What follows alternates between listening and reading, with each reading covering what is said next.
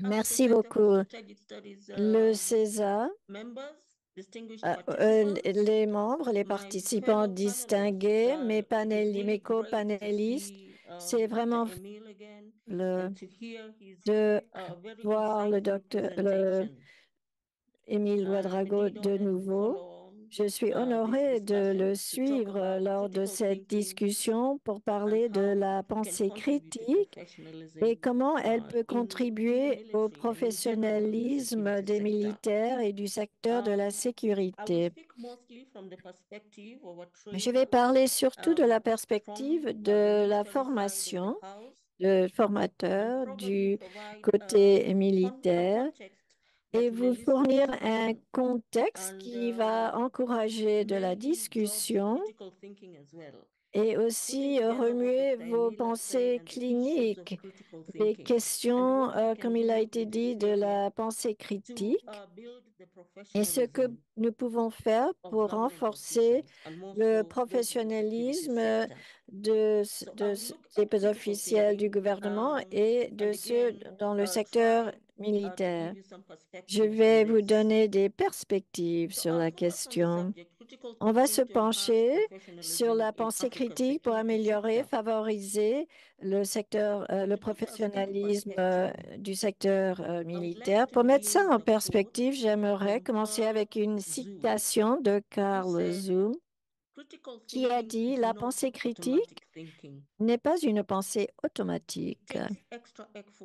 Il faut prendre, ça nécessite des efforts supplémentaires pour la pensée critique. Alors, c'est quoi la pensée critique? uh, La pensée, la définition ont évolué avec les années. Aujourd'hui, je vais considérer deux us uh, définitions qui vont nous aider à situer. La question de la pensée critique. Tout d'abord, ça sort de l'Association euh, philosophique de l'Afrique qui définit la pensée critique comme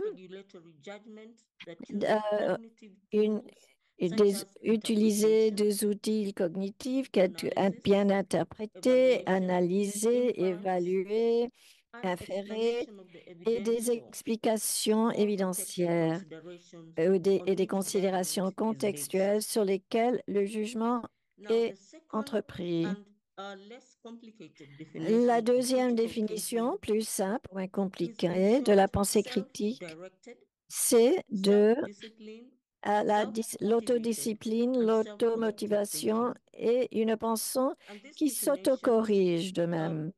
Et cette définition of vraiment mène à des normes rigoureuses d'excellence et de leur utilisation. Il faut bien mettre en contexte ce dont on vient de um, parler. Par exemple, le secteur de la sécurité, ses engagements euh, à la nation et à la région. Ceci, en temps, nécessite des communications efficaces, les capacités de résoudre les problèmes, un engagement pour surmonter notre égoïsme et notre, notre euh, axe sur nos propres régions. Quelquefois, on implique les acteurs différents du secteur de la sécurité pour travailler biases. ensemble. Quelquefois, on hésite à le faire à cause de nos um, propres préjugés. Mais si on, on enseigne la pensée critique, travailler ensemble serait beaucoup plus productif pour un pays qui cherche la sécurité pour soi-même et pour son peuple. Alors, il faut développer des habitudes rigoureuses de la pensée critique. C'est un outil essentiel pour les militaires et les officiers du gouvernement. La pensée critique implique l'analyse des informations de façon objective, alors qu'on peut évaluer des perspectives différentes et prendre des décisions bien informées. La pensée critique est importante pour l'éducation militaire et l'éducation en général. Euh. Si vous êtes leader, parce que cela fournit un outil très puissant pour opérer dans un environnement qui est souvent connu comme étant volatile, incertain, complexe et ambigu, ce qui est communément connu comme l'environnement VUCA.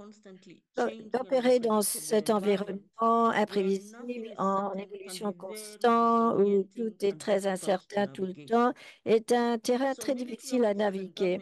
Donc, les officiers euh, des militaires et du gouvernement travaillant dans cet environnement doivent pouvoir changer rapidement, prendre des décisions sans, dans certains cas, sans avoir euh, toutes les informations.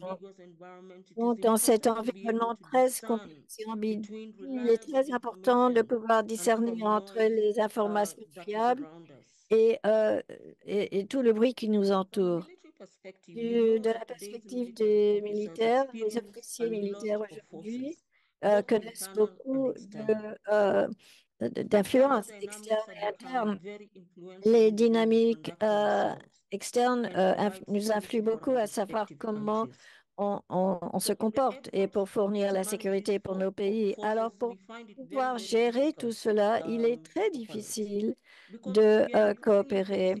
Nous faisons face de plus en plus à des menaces militaires, aux guerres asymétriques, aux, conflits transnationaux, etc. Beaucoup de courants sous-jacents, les défis financiers qui ont un impact sur nos ressources. Nous avons aussi des problèmes de santé publique, les risques cybernétiques, les changements dans la technologie, uh, uh, euh, la gestion de tout cela. C'est vraiment une situation très complexe. Et pour faire face à ces défis, les officiers militaires doivent être souples, agiles et rapides dans l'identification des forces pour information stratégiquement assimiler les nouvelles informations et prendre les positions, les nécessaires avec les informations qui leur sont accessibles, disponibles.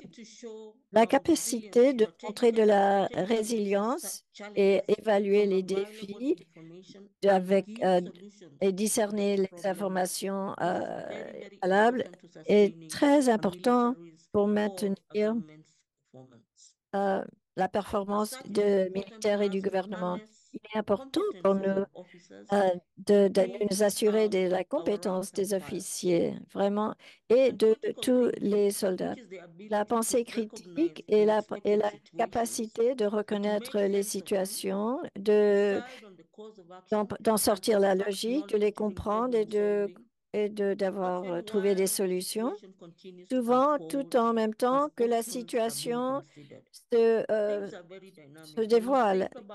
Tout est très dynamique. Si on réalise toutes les choses qui prennent lieu dans notre pays, un jour c'est la sécurité euh, de la jeunesse, le malaise de la jeunesse, le lendemain, la, guerre asymétrique, le surlendemain, des problèmes de sécurité humi- um, humanitaire, tous ces défis sécuritaires, les leaders dans le secteur de la sécurité ont besoin de pouvoir réfléchir rapidement et décider de meilleures actions à prendre pour euh, assurer la sécurité de la nation.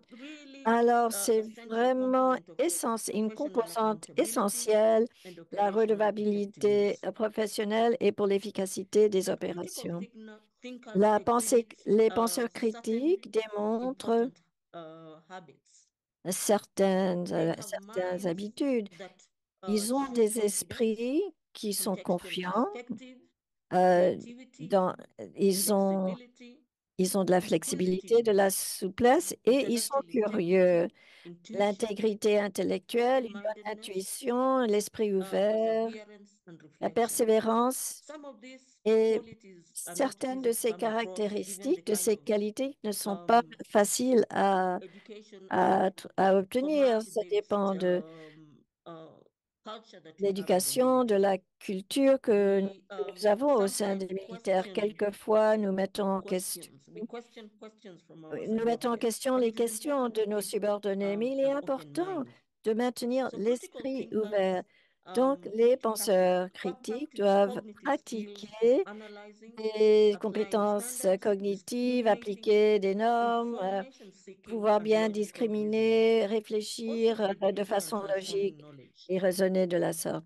Et puis aussi la question de transfert des connaissances. Les, ceux qui pensent de manière critique nous, nous apprennent à comment euh, penser, euh, must réfléchir de, façon critique et ne nous disent pas quoi penser. Pour réaliser cet apprentissage continuel, euh, pour, pour un apprentissage continuel, il faut avoir cet esprit ouvert. Les leaders professionnels doivent rester, être adeptes à constamment pour pouvoir constamment improviser et adresser les défis qui vont affecter leur pays et dans, la, et dans le présent et à l'avenir. Non seulement ceux qui réfléchissent de façon critique peuvent sortir euh, le pays de, leur dilemme, ils peuvent modifier les missions et, créer des plans euh, alternatifs. So a critical um, critical thinking La pensée critique, quand elle est appliquée, peut mieux aborder les défis, les situations. Et cela nécessite l'élaboration at euh, délibérée euh, d'une pour euh, pouvoir développer, a élaborer ces compétences. Beaucoup de nos institutions euh, académiques, militaires prennent cela très à- au sérieux, la pensée critique. Cela, uh, euh, tout cela sort- ressort des um, institutions militaires qui existent au niveau euh, les plus élevés des institutions académiques à travers le continent de l'Afrique. Alors je vous have demande, est-ce que l'éducation militaire, est-ce que les institutions euh, académiques militaires euh, adoptent euh, cette réflexion au centre de leur programme d'études? ou est-ce qu'ils en parlent seulement comme un sujet un jour sans le lier au, reste du programme des institutions it de la formation? Ou est-ce que cela, la pensée critique a été intégrée dans tout le programme d'études career? et, et pour que ça reste avec l'officier tout au long de sa carrière? Alors, deux questions ressortent lorsque nous parlons de la pensée critique dans le programme d'études. Je parle du curriculum, du programme d'études, parce qu'il faut être très délibéré de la façon que nous préparons nos officiers, de la façon que nous les enseignons, à savoir aussi comment on va les développer ah, et pour qu'ils puissent prendre les décisions au niveau les plus élevés. Est-ce qu'il faut séparer le cours sur la pensée critique ou est-ce qu'il faut intégrer cela dans tous les cours? Moi, je pense que les deux seraient bien parce que la pensée critique fournit l'opportunité uh, euh, fournit l'opportunité de le on. concept de la pensée critique.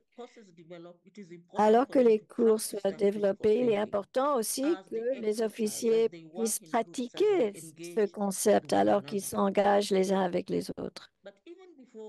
Mais avant même de parler de euh, l'apprentissage de la pensée critique, on nous goal a, of il faut nous demander quel est le comportement de nos jeunes officiers qui sortent du lycée ou de l'université. Traditionnellement, nous avons vu que euh, les études supérieures doivent produire des, euh, pensées de réflexion supérieure, critiques, avec des, connaissances et capacités intellectuelles, pour euh, progresser dans leur carrière. Pourtant, il faut admettre qu'il y a une grande préoccupation grandissante que Beaucoup sortent des universités sans euh, les capacités intellectuelles euh, qui devraient être inhérentes à leur diplôme.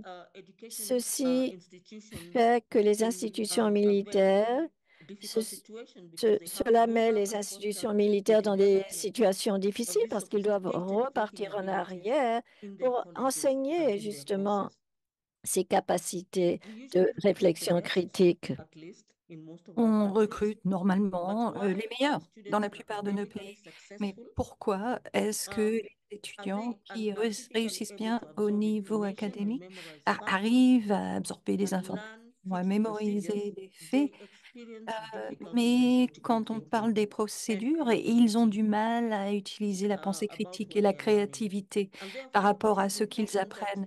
Et donc, il est important qu'on examine ceux qu'on recrute dans les forces armées, surtout dans les rôles de leadership.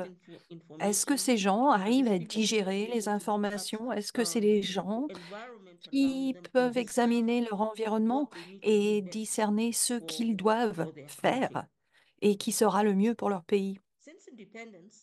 Depuis l'indépendance, le Kenya a entrepris des efforts pour renforcer les capacités des officiers militaires dans un contexte national et international en constante évolution. Comme vous le savez, euh, là d'où nous venons, euh, il y a vraiment ce sens de ce sens de la at de beaucoup d'incertitudes. Et ceci commence au 60s and niveau des 70s, cadets. Alors, dans les années mostly 60, placed on academic 70, on soulignait, on mettait surtout en exergue les qualifications académiques. C'était vraiment un um, programme très colonial, colonial qu'on avait mis en œuvre avec très peu euh, d'utilisation de la pensée um, critique. Et donc maintenant, nous avons quand même changé cette approche dans la Kenyan uh, formation de nos officiers. Euh, L'Académie euh, militaire kenyane est maintenant une institution de formation de premier plan pour it les formations d'officiers militaires et elle attire non seulement des officiers kenyans, mais d'autres pays alliés, rassemblant des, rassemblant des acteurs nationaux et internationaux. Et donc, le programme se focalise sur le développement du caractère, la, la formation formelle académique et d'autres éléments. L'objectif de ces formations, c'est vraiment euh, de créer des to command, leaders bien instruits qui seront prêts au leadership, prêts et qui vont poursuivre l'excellence militaire professionnelle. Et c'est là où la graine de la pensée critique est plantée. C'est là où l'officier is est créé, où l'esprit est préparé pour uh, commencer à examiner les choses d'un d'un- point de vue très différent. Et ceci fournit une fondation pour élaborer leurs compétences avec And des demi-carrières et jusqu'au collège de guerre. Et ce n'est in pas unique au Kenya, ceci a lieu dans la plupart de nos pays africains. Et donc, c'est le niveau plus élevé de la pensée critique qui est enseigné en tant que cours. um, lui, tout seul. Et euh, il y a des exercices pour les étudiants en petits groupes. Il y a des activités en classe qui sont conçues pour développer la pensée critique. Euh, on équipe les officiers avec des attributs intellectuels nécessaires pour comprendre et analyser euh, les choses et pour fournir des solutions efficaces à des problèmes sécuritaires contemporains. Alors, les défis pour beaucoup d'institutions, c'est vraiment comment la pensée critique peut être au mieux enseignée d'une manière intégrée euh, dans une discipline qui a déjà a énormément d'éléments à enseigner. adopt Donc, le plus important, c'est d'adopter une approche axée sur uh, l'étudiant, sur l- la personne qui apprend. Um, now, um, improving critical skills or Alors, l'amélioration des compétences critiques et de reconnaître l'importance de la pensée critique, ceci n'est uh, pas nouveau euh, dans l'éducation professionnelle Uh, militaire.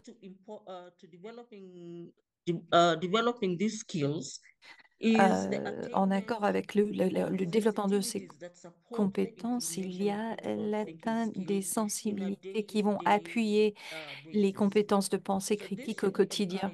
Alors, on doit encourager les participants, une fois qu'ils quittent une institution de formation, on doit les suivre, on, on doit les aider à renforcer leur processus de prise de décision dans critical leurs professionnelle. Et donc, la pensée critique peut être enseignée et elle peut être apprise.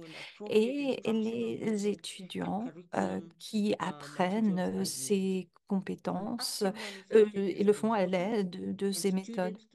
Une, stratégie est, importante et il doit y avoir des interactions to étudiants à étudiants et étudiants um, vers enseignants pour vraiment encourager euh, l'amélioration des compétences de pensée um, critique.